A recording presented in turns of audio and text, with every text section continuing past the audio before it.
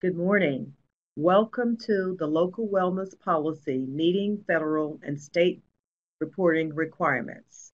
We will be sharing with you information to assist with meeting your wellness policy requirements. Today, we have four presenters. Myself, Juanita Bowens, I'm with the State Department of Education. We also have Carolyn Lindstrom, who is with MUSC Boeing Center for Children's Wellness, and the lovely Erica Ayers, who's with South Carolina Department of Health and Environmental Control, and a wealth of knowledge, Beth Berry, with the Alliance for a Healthy Generation. Our objectives today are to articulate the federal and state local wellness policy reporting requirements. Upon completion of this webinar, you will also be able to use the South Carolina District Wellness Policy Annual Progress Report, and also you will have a wealth of tools and resources to implement, evaluate, monitor, and meet federal and state reporting requirements. For those of you who have not attended one of our wellness policy training, I will go over USDA wellness policy requirements briefly. If you are a school participating in the child nutrition program, you are required to have a district wellness policy. And in that district wellness policy, you must have a diverse school wellness committee or a CSHAC. They both can serve the same function.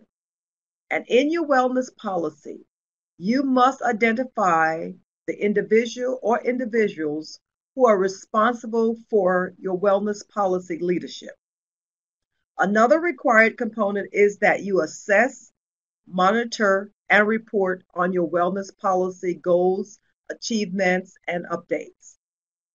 In the policy, you are required to have goals for nutrition promotion, nutrition education, physical activity, and physical education. Along the line of your foods, you are to have standards for foods sold and foods served. I'm going to repeat that one. You are to have standards for all foods, including foods sold and foods served on the school campus. You are to have guidelines for food and beverage marketing, and you are to report publicly on your wellness policy assessment, monitoring, and implementation. Upon completion of this webinar, we will provide you with tools and resources to assist you with your reporting requirements. According to USDA, you must make your policy and your uh, updates available to the public. The wellness policy, including any updates to and about the wellness policy, at a minimum must be reported annually. And then also, you must do the triennial assessment and you must include progress toward meeting the goals of the wellness policy. Now, what I'm going to share with you now, there are two ways to access the local annual wellness policy reporting tool. If you are a SCAPS user, and that stands for South Carolina Automated Payment System user, if you are a SCAP user, you will access it through the SCAPS program. Most SCAPS user will be those who are in the uh, food service. Non-SCAP users would be all others, your physical education teachers, nurses, and others who are serving on the committee who is not in food service. So I'm going to pause for a minute to access the website and walk you through how to get to the tool.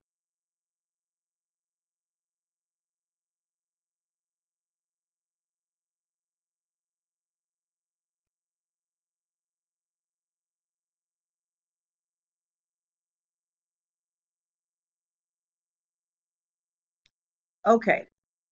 You are to access the State Department of Education's website and it can be accessed at www.ed.sc.gov.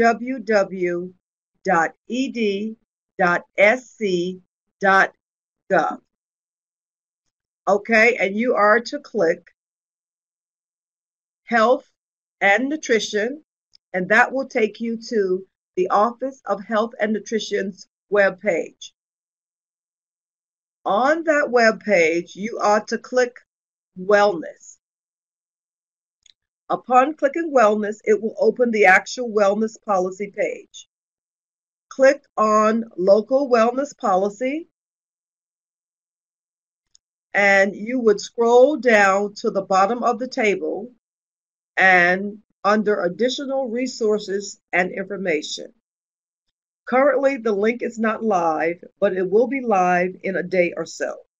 You would click the local wellness policy assessment tool. This is how non-SCAP users will access the tool.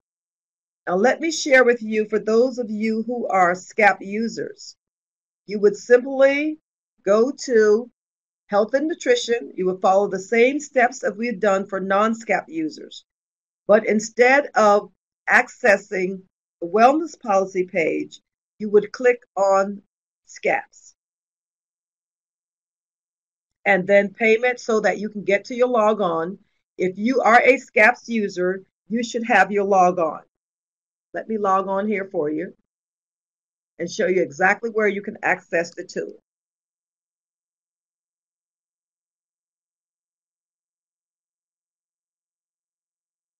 Perfect. Now, when you get into the program, you are going to select the school nutrition programs icon. And then you're going to select applications. Scroll down to the bottom of the page and select downloadable forms. You're going to scroll down to the bottom of the page. There are two tools. The first tool is the actual wellness policy assessment tool. And the second item that says LWP AR, APR coding is the Healthier Alliance for a Healthier Generations coding tool that Beth Berry will share information about later. So now we're going to actually walk you through the tool. So give us a minute to access the tool.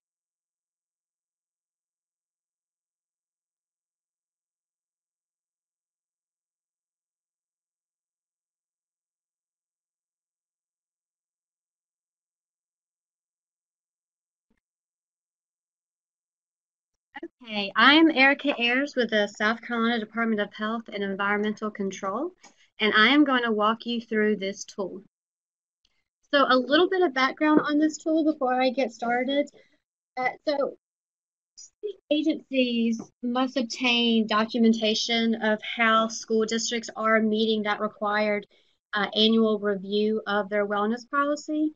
And so Beth Berry with the Alliance for Healthier Generation and one of our STAT team members, she did some research on how other state agencies across the country are doing this and found that many of them created tools that the school districts are completing to make it a little bit easier. The districts have to complete their own tool and it's all consistent across the state. And so Beth Berry uh, used what other states had created to draft the South Carolina reporting tool that our state team reviewed and finalized and we're providing to you today to go over. And this reporting tool, just so you know, it only includes those state and federal required pieces of the wellness policy. And we use those pieces that come directly from the South Carolina model local wellness policy.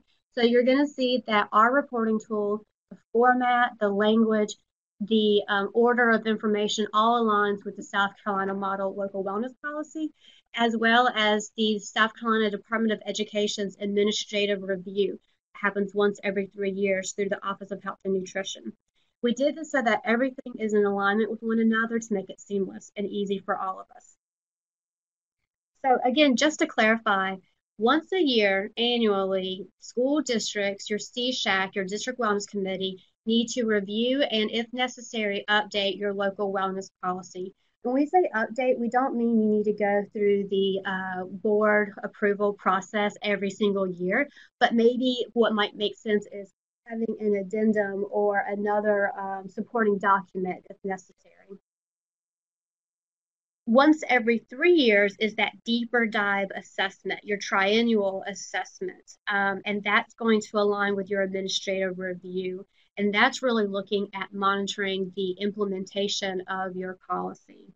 Um, So for the purposes of this webinar, we're really focusing on the annual review and how this reporting tool is going to help you meet that requirement.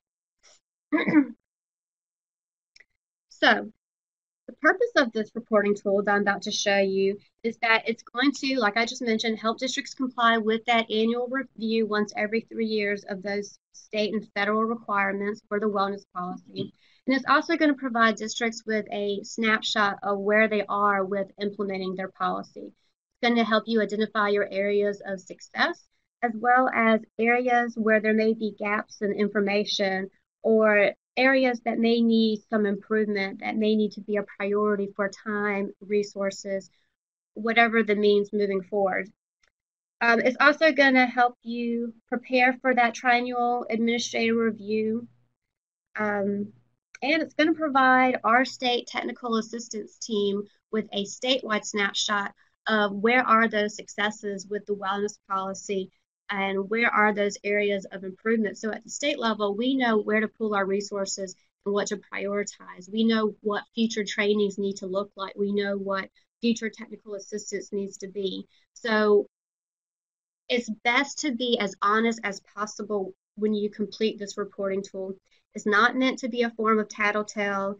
Um, it's not meant to call anybody out. It's not detrimental. It's honestly so that we can provide people with the recognition they deserve for the things they're doing great in and provide people with tools, training, and resources that they need where they may need some additional support.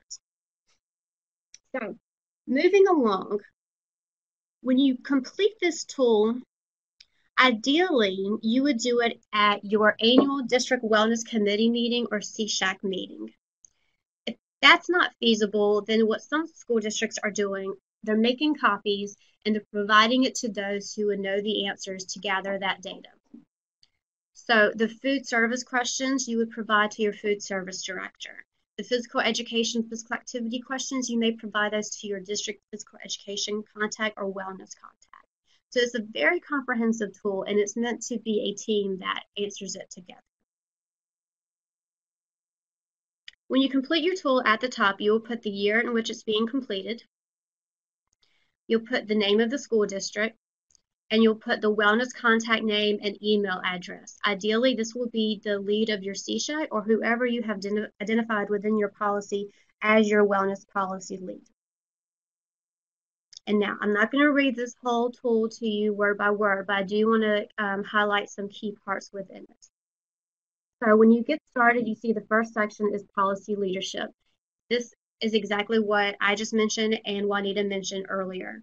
A requirement is that you must identify a wellness policy lead within your district and their contact information, or at least their job title and um, the best way to reach them should be made available in your wellness policy. If this is true for your district, you would quickly, um, easily click on fully in place. There are no need for steps to implement because it already exists and your data source would be your wellness policy and then go ahead and put the name and or title and the contact information for that policy lead. So you will see for each item in this report that it's a fillable PDF. So you would either put fully in place, partially in place, or not in place. More than likely for partially in place or not in place, you will have steps needed to implement or some possible challenges and barriers to list that will need to be overcome. If it is in place, then you will also need to put your data source. So I'll give you some examples. Public involvement. Question number two is asking if your CSHAC or District Wellness Committee meets at least once a year. Let's say that you have a meeting scheduled for April 14th, 2019, and today is February 5th, 2019. So you have one scheduled, but it hasn't taken place yet. So you would click partially in place. Steps to implement would be the meeting date. Once the meeting occurs, the data that you would put, your source of how we know that happened, is you would put your type in that you would have meeting minutes available. Question three is about having a diverse wellness committee, including parents, students, um, representatives for nutrition, physical education, school health, school board, and the general public, including community members. uh, this could be the same way. You mostly have a diverse committee, but you really need a parent. And so you put partially in place. Steps to implement would be that you have a list of parents that you plan to reach out to to see if they are interested in participating. Once they participate, your data source could be your meeting minutes again with a list of attendees, including that parent, with each person's title clearly identified. Moving along to food and beverage availability. Question four is about providing a minimum of 20 minutes to consume lunch after students have received their food. Let's say that you have a rather large school district. You have 20 plus schools and you really don't have a clear grasp right now if this is happening across the board. You know what's happening in your elementary schools, but you're not quite sure about middle and high school. Well, if you're going to be honest, you would put that this one is partially in place. Uh, steps for implementing would be to possibly the food service director have a meeting with all of the school's food service operators and managers um, to identify their schedules and if possible a data source could be actually that lunchroom schedule to see where that 20 minutes is allotted for food consumption Moving along, you see we have a section for food sold outside of school meal programs. This is competitive foods and beverages, or some people might um, call the uh, smart snack standards. So making sure that these are in place. And again, you may be more aware of what's going on in some schools, but not all. So an honest answer for you may possibly be partially in place in identifying better ways to get that information. And again, it could be having that conversation with the appropriate contact of how they gather that information possibly through staff meetings.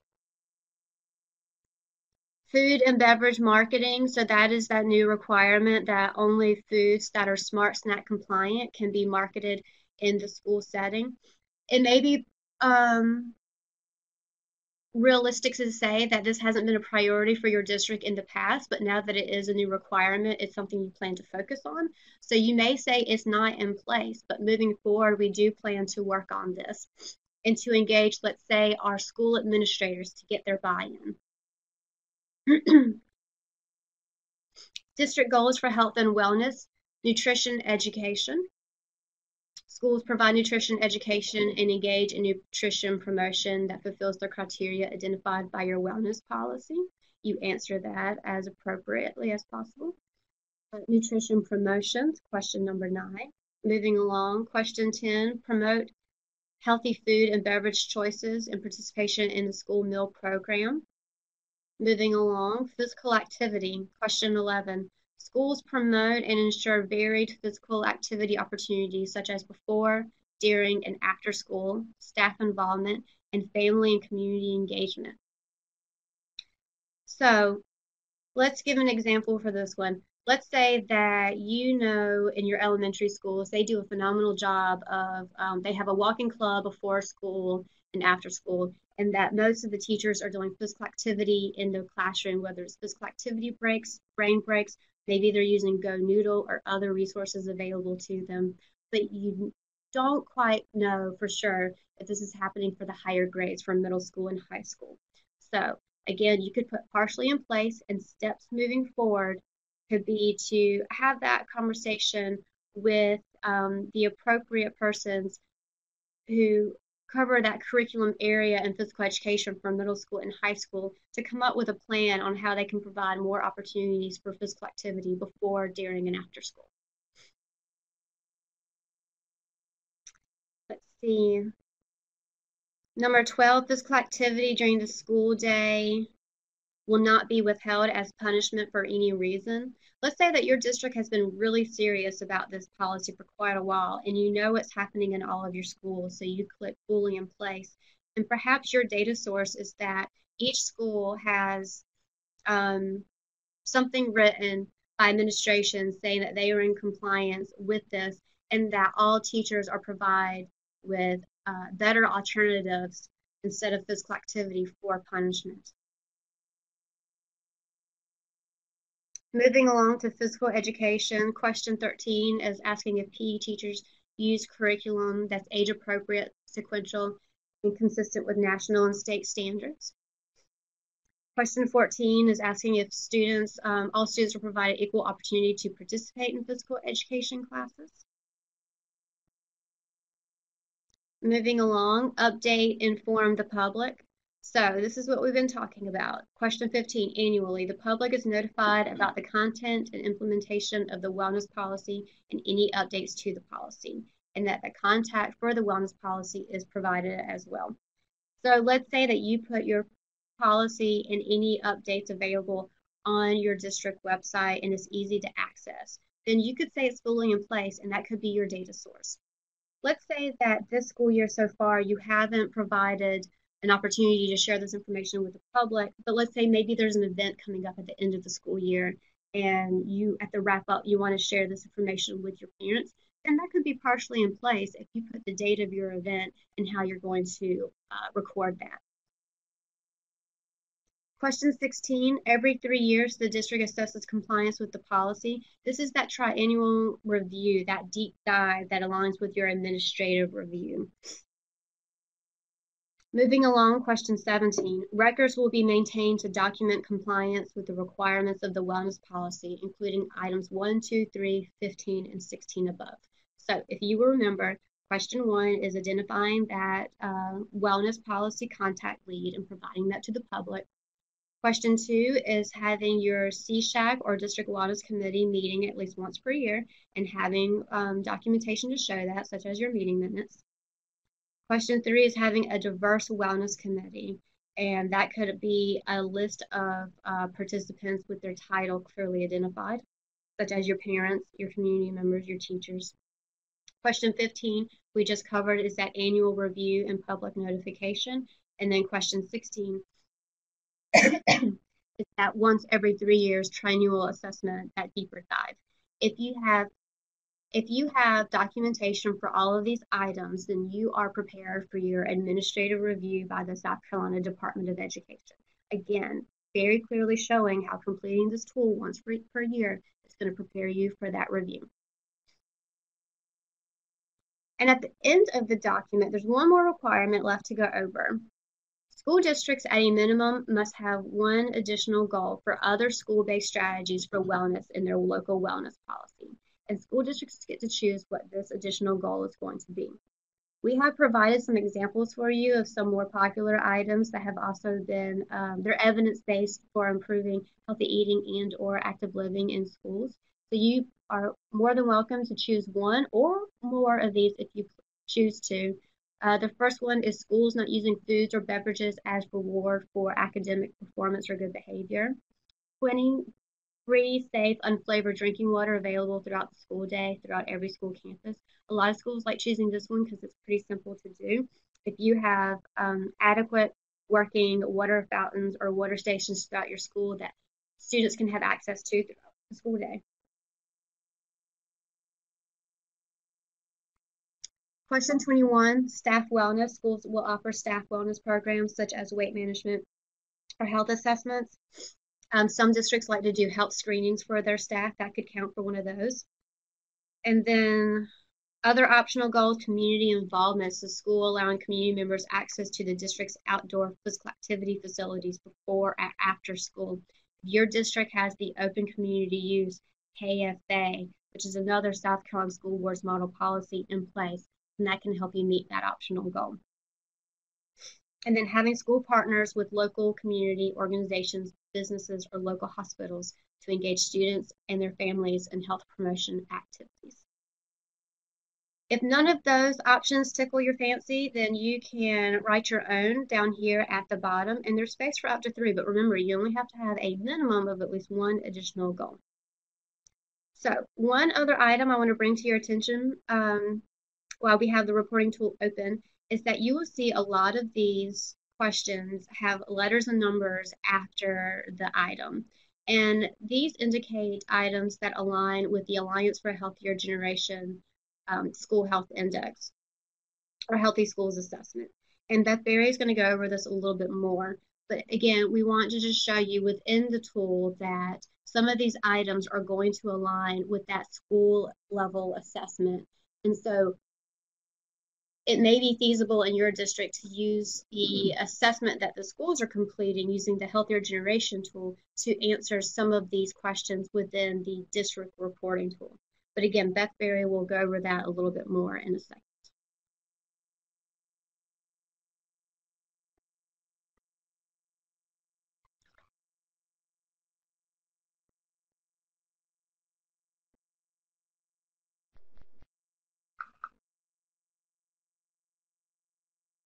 So a very important question you may have is, when is this tool due? So the online reporting deadline for 2019 is from February 15th of 2019 to March 15th of 2019. We're giving a 30-day grace period with this being the first year that the tool is out there and is due. And uh, like we mentioned before, you can access this tool at the Office of Health and Nutrition's Wellness Policy webpage or through SCAPS. And again, if you can't remember how to find that information, um, just go back a little bit in this recording and we'll walk through it again for you. Uh, once you complete this tool, you do not submit anything via SCAPS, but you will submit the reporting tool to the wellness policy email address, which is at wellnesspolicy at ed.sc.gov. And now Beth Berry will go over some resources available through the Alliance for a Healthier Generation.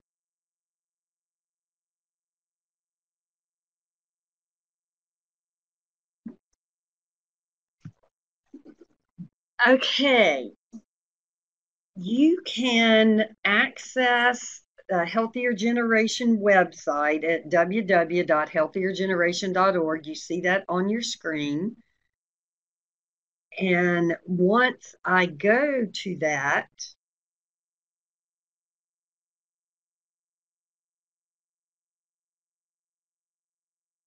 you will see where you can um, log in. I'm already logged in, but you can log in here. It'll say log in or register if you're um, not on a computer where you've previously um, logged in. And we have partnered, Healthier Generation partnered with the USDA. The USDA endorsed Healthier Generation's model wellness policy for districts to use when they were updating their policy. And they also have endorsed our assessment for monitoring the implementation um, of your policy and reporting out your progress. So we're connecting the dots here on how all this works together. The South Carolina School Boards Association also used the Healthier Generations Model Wellness Policy as the basis for our state model wellness policy. About 95% of it is verbatim from Healthier Generations wellness policy, and we know a lot of you have um, used that. So when we are encouraging um, schools to complete the Healthier Generation assessment, when they go to take action in schools, they would go down to assess your school. And once they get registered, they will be taken to their school's dashboard. My dashboard has a lot of schools listed because I'm working with a lot of schools and you will have the option um, starting later on today to join um, your district team. We did website updates, and that feature hadn't been live, but it is now. So when you join your district team, if you are at the district level, you will see all your schools listed. Um, I'm working with a number of the schools in Greenville County School District. Alexander um, Elementary School is doing a great job, and I can go over and look at their assessment, or if I'm a team member, I could complete their assessment. You can see here that they have completed 100% of the assessment items. A really great thing is once schools have completed the assessment, they never have to start over again at ground zero. All they do is then update the assessment if any of their answers have changed. We also have an assessment guide that you can download right here. It gives the items in a written format with a lot of information about who can help answer those. Um, you see the different um, topic or focus areas here. You will also be able to see the percentage of items in each area that are being fully implemented. As Erica mentioned with the uh, wellness policy tool, it's good to have your team do this. A school administrator or someone uh, familiar with if your school is implementing the policies of the district would be uh, the person to answer those questions. Nutrition services at the district level or the cafeteria manager could help with those. Um, smart snacks, um, you could get the appropriate person to do that, health and PE, the health and PE person. And to show you an example, when you click on um, policy and environment, again, you see for this component, 100% are complete. And down here is the code that Erica mentioned, PO1, Policy and Environment, Item 1 do you have a representative school health committee or team? And you can see, yes, Alexander Elementary School has that fully in place. And I could go through every topic area and every item. But we also have a reporting um, snapshot report that we can share with you that will easily um, indicate um, a summary of what your schools have reported. It's very um, important for you to be familiar with um, our resources. And I'm not getting to that at this moment. Let me show you the Get Help. And I'm not getting to that. Um, okay, we'll go to resources here. One of our, you can do that. Again, you can always click in the search bar and type in what you're looking for, or um, go to this at the top of the uh, landing page for Healthier Generation. One of our most popular is the Smart Food Planner. And um, most of you in food service are very familiar that we have the Smart Snacks product calculator. It is the only tool that the USDA endorses for um, schools to determine if a product is smart snack compliant. A lot of schools will have a link to this on their website for parents and staff if they want to know if what they're going to be providing for students is smart snack compliant. They use the nutrition label and answer a few questions, and it will tell them whether or not it is compliant. Um, we also have a product navigator. In this, we all the products in here are Smart Snack compliant. You can enter a keyword. You can choose a category such as, let's say, uh, snack foods. We can filter. I am interested today in ice cream and frozen novelties and then we will search that and see what comes up. And sometimes there'll be photos, sometimes there will not be photos, but you can see the sidekicks um, have a number of compliant items. If I click on this, it will give me the SKU number um, so I can get all the details for that. Also, um, I was going to go back to the Smart Food Planner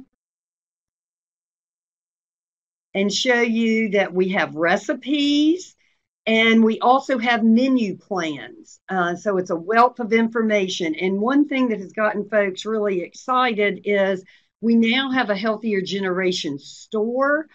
All items in there are smart snack compliant. We have partnered with Amazon Business and any nonprofit can, well, anybody can order from this, but if you are a nonprofit, it will be shipped for free if you order at least $25 worth of products, and it will be shipped within two days.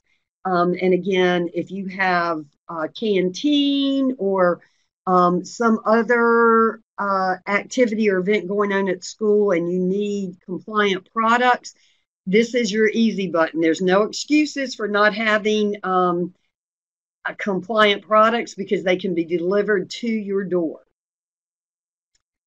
We also have um, online uh, communities and we have a training center. And the training center you can access here or through um, that resources tab that I showed you.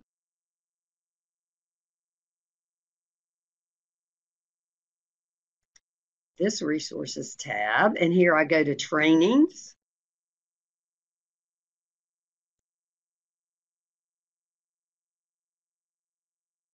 Excuse me, let me get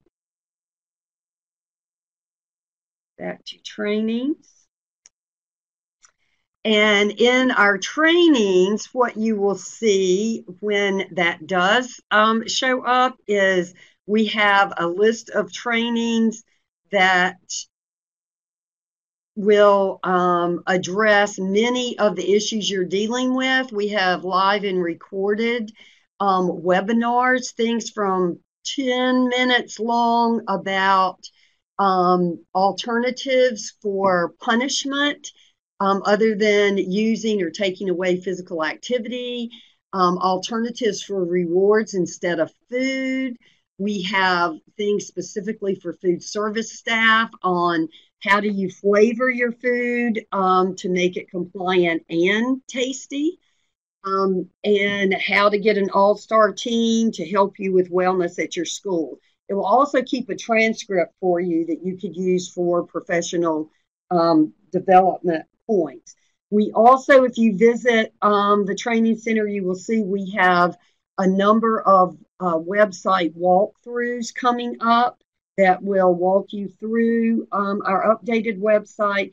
And we also have recorded um, sessions on a walkthrough of this smart food planner if you want more information on how to how to use that.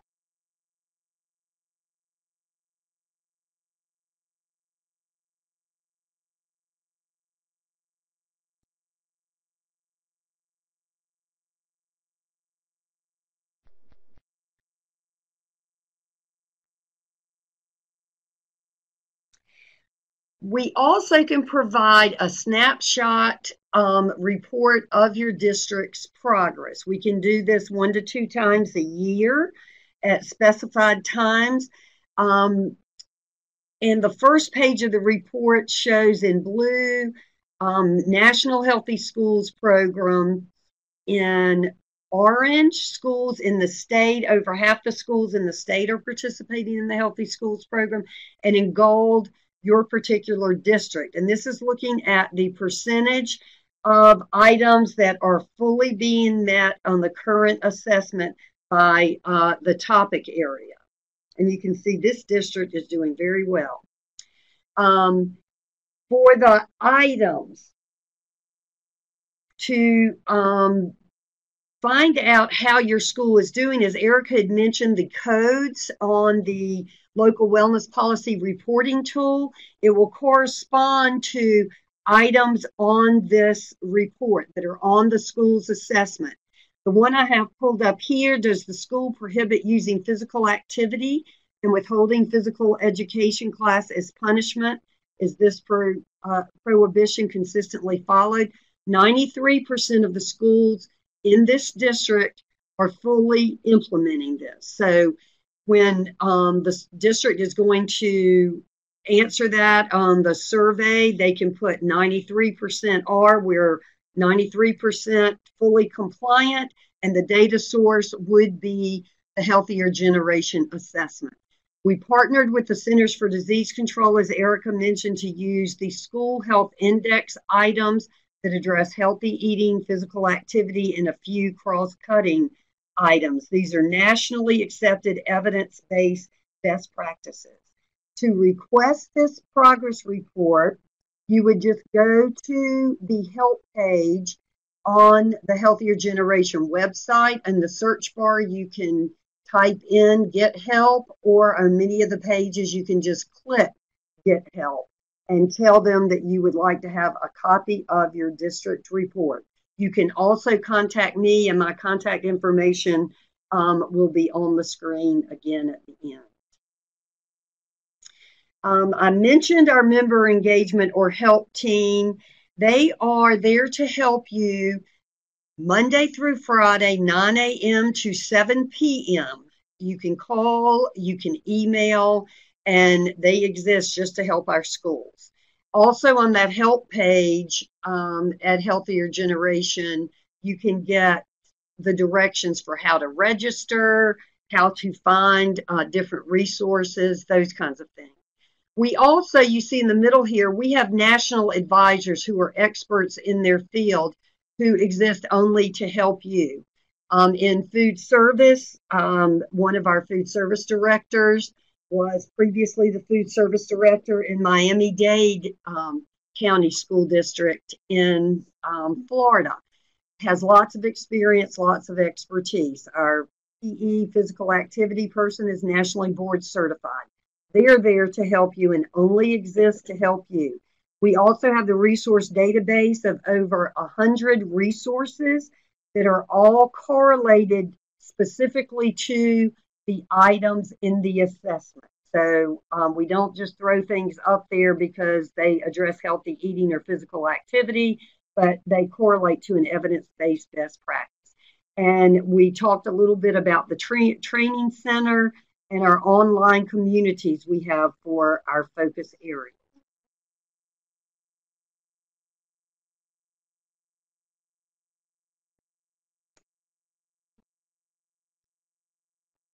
Also available for your use is the uh, South Carolina Department of Education Office of Health and Nutrition Wellness Policy page.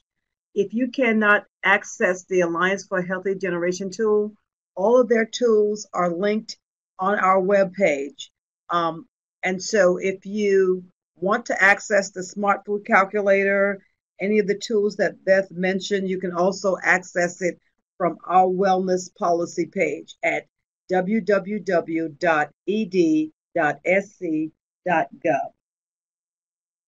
We want to mention some other tools and resources that we thought you would be interested in. One is the USDA Local School Wellness Policy Outreach Toolkit which I will show you in a second. And the other is the Center for Disease Control's Parents for Healthy Schools Guide and Promotion Kit. Um, for the CDC Parent for Healthy Schools, I don't have the link available um, for you to easily access, but if you simply Google CDC Parents for Healthy Schools, the guide should be the first link that pops up, and it provides some great recommendations on how to engage your parents into the wellness initiatives at your school district. So now I'm going to show you very briefly the USDA's outreach toolkit for your wellness policy.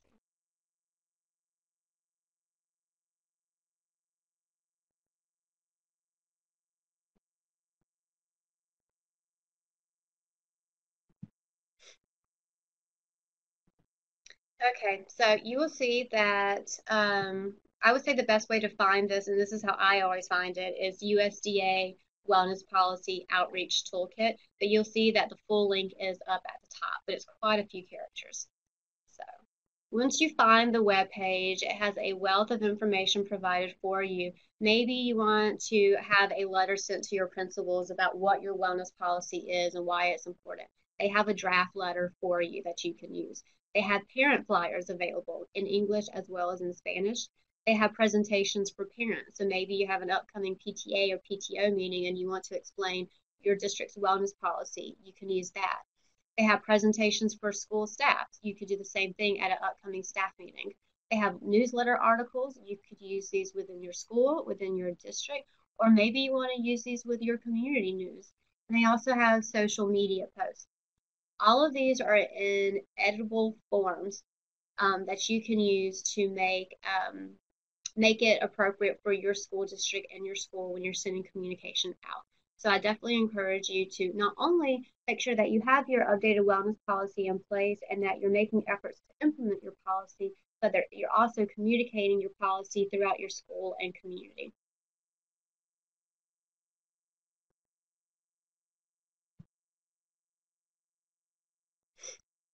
And now we will take you back to the PowerPoint to show you a few more resources before we wrap up.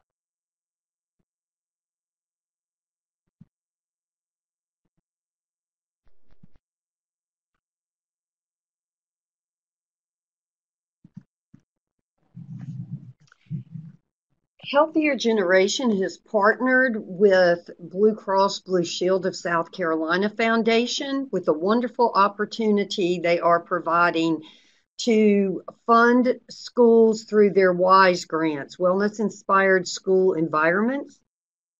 This will fund schools to implement one or more action items on their Healthier Generation action plan. After schools complete the assessment, they are um, guided to complete an action plan based on those results. And schools would be eligible for two to eight thousand dollars, depending on their size and if they're Title One um, eligible or not, uh, to implement their action items. You see Hannah Miner and my contact information there. We are available to ask questions and to help you with your application. It's a very simple application, and you can find out more as you see on your screen at www.wisesc.org.